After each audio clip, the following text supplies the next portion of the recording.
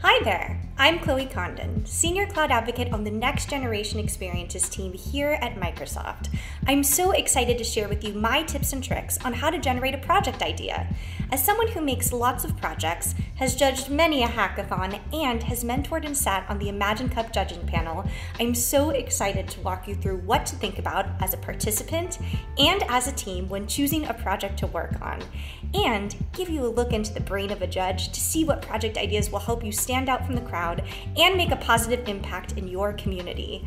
Whether you're looking to make a splash at a hackathon, brainstorm a project idea to include in your portfolio, or even submit to the Imagine Cup, these videos are for you. So buckle up, everyone! It's time to think like a judge. So, you're going to put together a project. How exciting! Have you thought about what you want to build yet? Before you get started on building, designing, and coding your prize winning project, let's make sure we're set up for success by answering a couple questions. First of all, are you excited about your project? If the answer is no, it's probably best you find something you're truly passionate about. Not only will you have more fun building it, but passion always shines through when presenting and speaking about your project in front of a judging panel.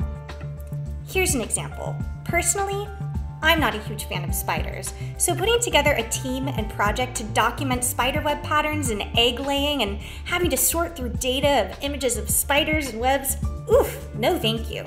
Let's just say my passion for spiders would be difficult to share with a panel of judges.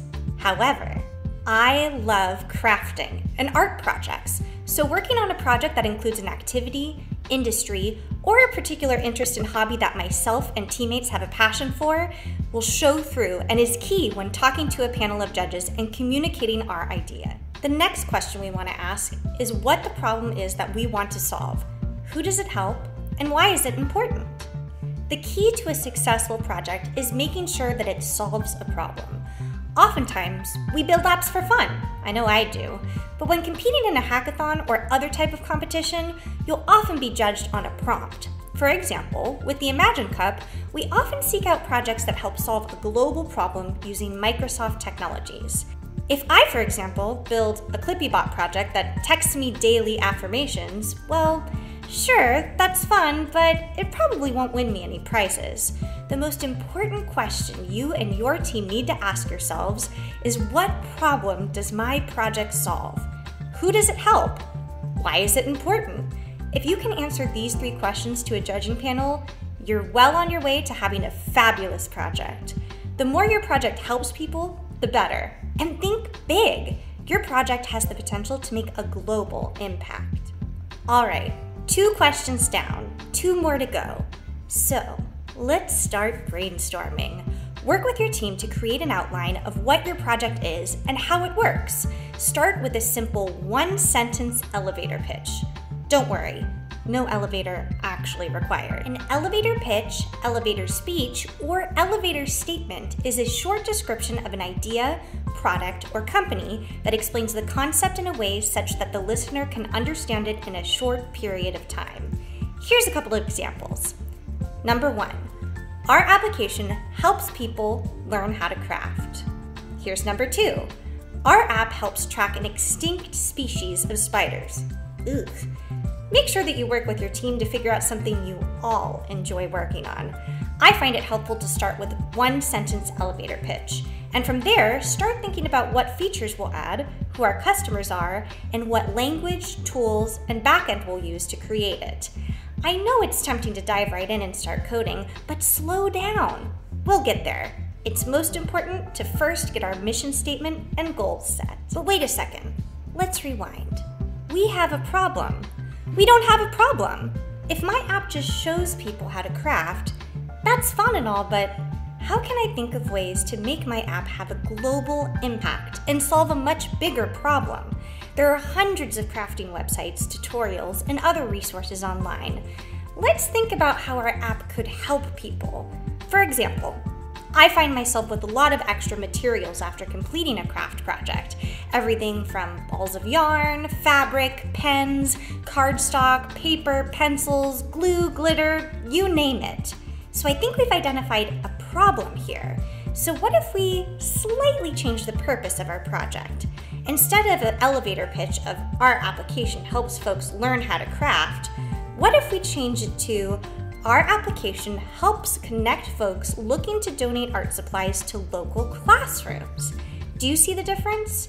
Now our application solves a problem. In this case, teachers needing school supplies, versus our original concept of just learning how to craft. Great! Three questions down, one more to go. One of the most important questions to answer about your project is Is it inclusive? This is a question that myself and all my coworkers here at Microsoft ask ourselves before building any product, feature, or application. By definition, inclusive means including everyone, especially allowing and accommodating people who have historically been excluded. This could be because of their race, gender, sexuality, or ability. The first step to identifying if your project is accessible is to ask the following questions. Will my application or project hurt or exclude anyone? Make sure that your app does not hurt, target, threaten, or cause any safety issues to any individual. We want to make sure that any project or tool that we build is ethical, safe, and accessible. If you're unsure if your project is inclusive, consider asking a mentor, teacher, advisor, or industry expert their opinion. Okay, we've covered all the questions that are essential to a successful project. Now it's time for the exciting part a brainstorming session with your team. Don't worry if you start your brainstorming session with your team with one project and come out on the other end with a completely different idea. That's the beauty of brainstorming. Take an hour or two with your teammates and take lots of notes as you go through the ideation phase of your project. It's time to get creative. So let's do it. Sync up with your team and start collaborating on a brainstorming doc. If you're looking for an easy way for everyone to contribute and add notes, Microsoft Word is a fabulous tool to start. In this phase of the project, don't be afraid to share your personal experiences, share examples, and ask lots of questions.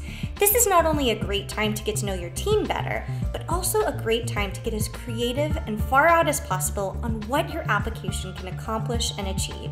There are no stupid ideas. Make sure you're being an active listener and a participant in the discussion, and that all teammates have a chance to speak. Now, don't get ahead of yourself. Don't worry about settling on a project name quite yet. Sometimes this changes throughout the process, but consider coming up with a creative team name in the meantime that aligns with the project that you've chosen. For example, Team Crafts for Kids. We did it! We answered all four questions. I'm so excited to see what you come up with. Now, go grab some paper, open up a Surface tablet, or share a link to that Word file, and let's get brainstorming with your team. It's time to come up with that award winning project. Now, remember, good projects include something you're passionate about, solve a problem, are something you can explain easily in a one sentence elevator pitch, and most importantly, are inclusive. Now, what are you waiting for? Go brainstorm and most importantly, have fun. When you're done, I'll be here and we'll start thinking more about who your customers are. Happy brainstorming! Come back once you and your team have settled on a project you're excited about. And no rush. Formulating good ideas takes time, so don't be concerned if it takes a couple iterations or hours to settle on the perfect idea.